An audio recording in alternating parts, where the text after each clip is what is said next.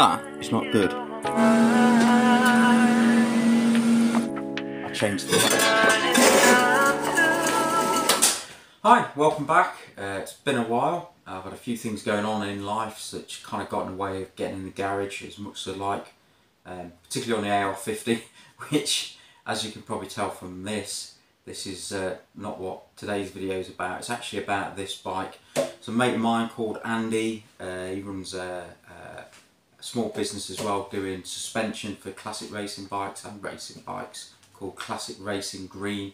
I'll leave a link in the description and he's asked me uh, to put this on. this bike is Harris Decorite. Uh, I believe 8 to 12 were commissioned, 86 I think if uh, I can remember the facts. Uh, they were built by Harris um, and apparently it's their first aluminium um, frame that they actually ever produced. Uh, as I say, there's not many of these about and it also runs a Rotax 256 uh, engine. And it's quite a nice quite a nice special bike actually. Not many around. Problem is my mate Andy he's quite tall and he didn't fit so he's had to have another subframe made. And this seat's been moved back as you can see and longer foot pegs have been on. And I'll bring you in in a second and you'll be able to see that actually this needs lengthening and the exhaust pipe which was made originally by Phil Featherstone, uh, we believe. Uh, yeah, I need to flip it around. So today I'm going to be modifying the exhaust to get the silencer to fit and actually clear the swing arm.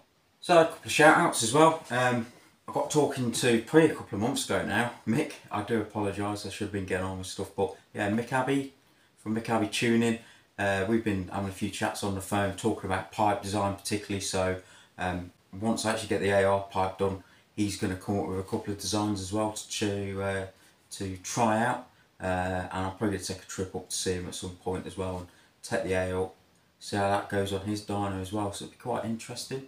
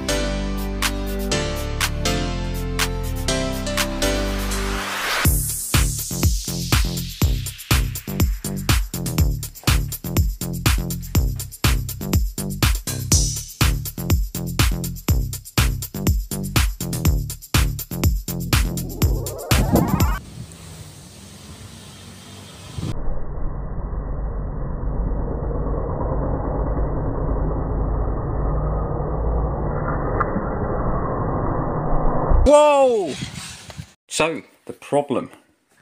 These are really rear set rear sets, a lot more rear set than the original rear sets, which also bolted onto here. So Andy's had to make this adapter plate and run these longer um, rear sets to get his feet in the right position, which meant the seat was in the wrong position. So a separate new subframe's been fabricated and you can see where this gap is here. That's how far back it's gone so that would normally be flush with that so to compound it the pipe here doesn't fit. So the problem we got this would have come out somewhere about here behind the foot peg. Can't do it now. So it needs to come out about there but it's still got to miss all this.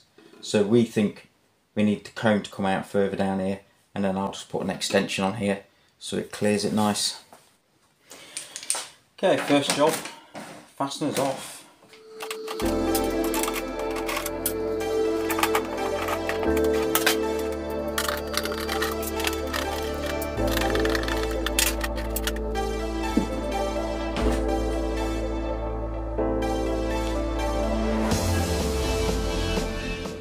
So quite difficult seat but I reckon I need a line there. I need this down to about here to get it to fit. So it's a bit difficult without any references. So I think I'm just going to go go for it. I'm going to take the pipe off and then I'm going to cut down this line because it does look like it's going to there or thereabouts be right. And we'll see if we can fluke it. I can always bend the tube a little bit to get it to meet up. Not the easiest of things to do, but it's not building a pipe from scratch, I suppose. Every cloud. Recommend one of these for taking springs off. Just make life a lot easier if that one on too tight.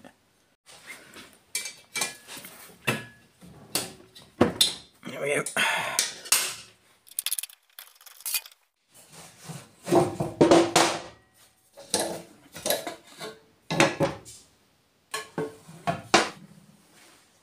I'm going to take my time on this.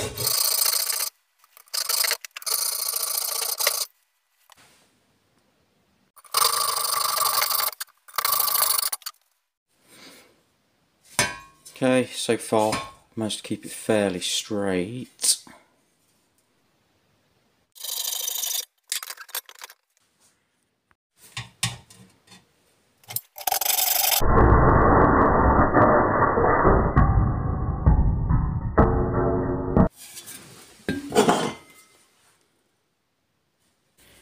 Bit of a jiggle around, so this roughly. Oh, ah, you bastard.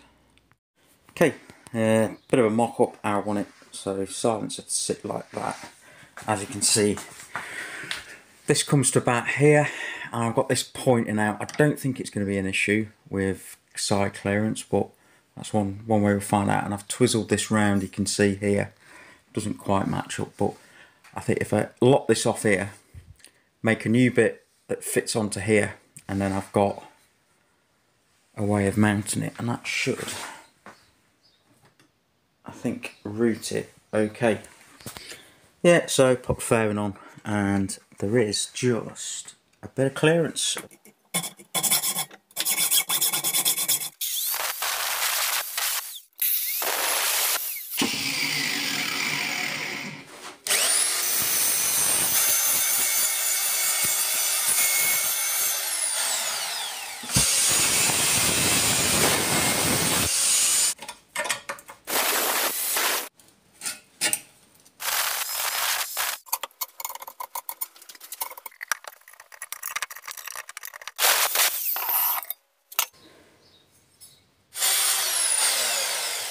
So, it's what I've been doing is tweaking these, tweaking that so I can get it to, where's my mark? That line's there. Then I'm going to get it flat because it's it's not flat enough, it's not good enough. Then I'm going to go around and remove all this carbon and then hopefully I can get it tacked up. So one of the problems is this is wasn't quite matching up with that it was a little bit too baggy effectively a bit too much and as I flatten it I'm going to make this larger and the cone larger as well. So it's what I've done. On a couple of bits where it's not sat I'm just having it like this and I'm just tucking the material in a little bit. Just tucking it here and then flattening it out. Just reduce that diameter a little bit so I can get a good fit up. Otherwise it's just going to be blown holes. Hey welcome to my ultra gash setup So I don't know what it shows up on here, but I'm looking for the grain, so the markings are just going round, so it's uniform. So there's a little bit there to come off. So yeah, final fit. It should weld up okay, that. So mocked up, I just need to get a bit of pipe to go from there to there now. It's my little pipe bender. Uh, it's cheap, it's not brilliant, but it's okay. So it's what I did.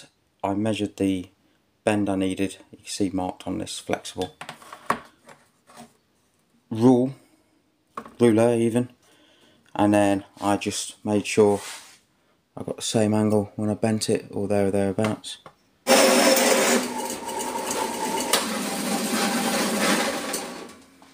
Bugger. I didn't notice this before, there's a bit of a dent in there. This has been brazed on.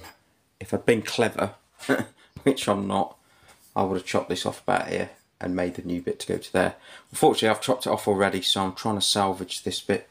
So I've just rounded the end, end of here a little bit on the lathe and I intend to pop that in there to try and take that little dint out. I don't know how easy it's to see but I'm just going to heat it up a bit as well with the old blowtorch. See if I can get it out.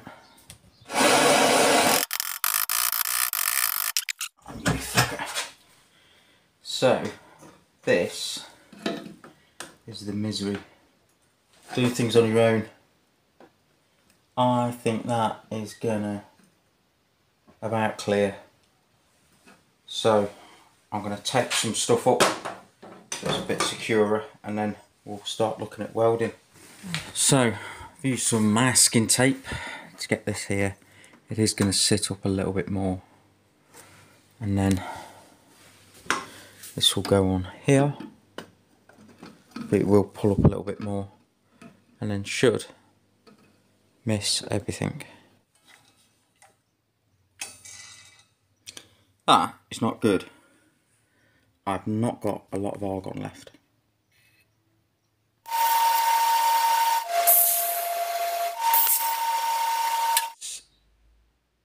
I'm not happy with that so I've got a bit more tubing and I'm going to cut a bit of this.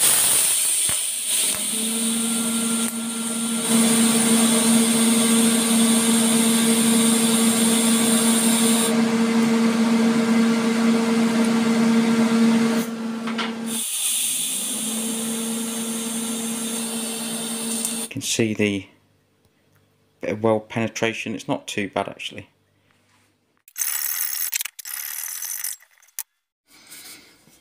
Right, I've got a few tacks on.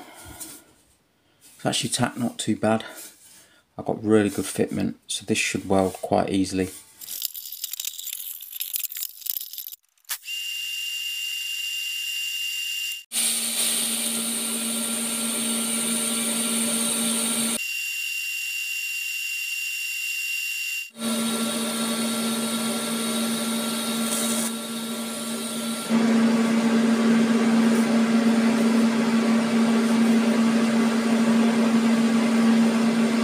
Need to get a bracket on here now to support. Difficult to see, but if I put this in here.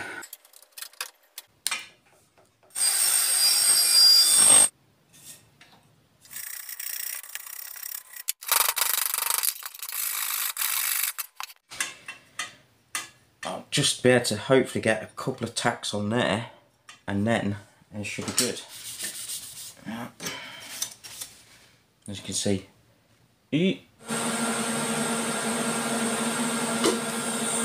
Not very good welding. That was really tricky.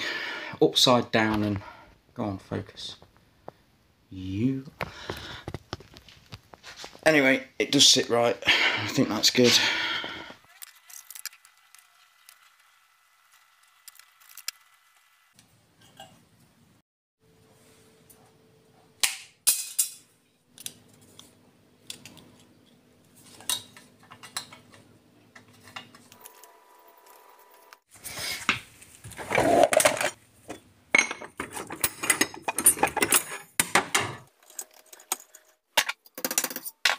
Trim that, see if it fits.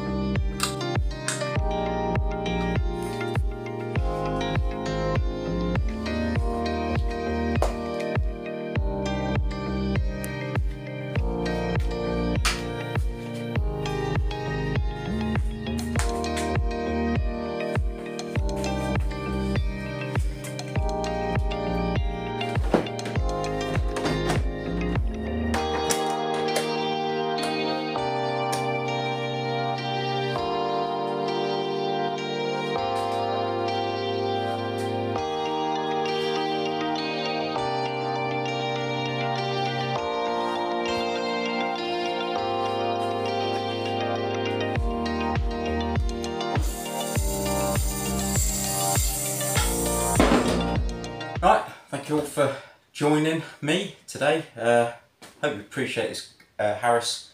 It took a bit longer than I thought, as pipes always do. Plus, I've spent a lot of time actually looking at the bike. Um, it is really, yeah, it's a piece of art. It's beautiful, absolutely beautiful. So it's been good just to work on something like this. Uh, coming up, AR, back on the AR pipe.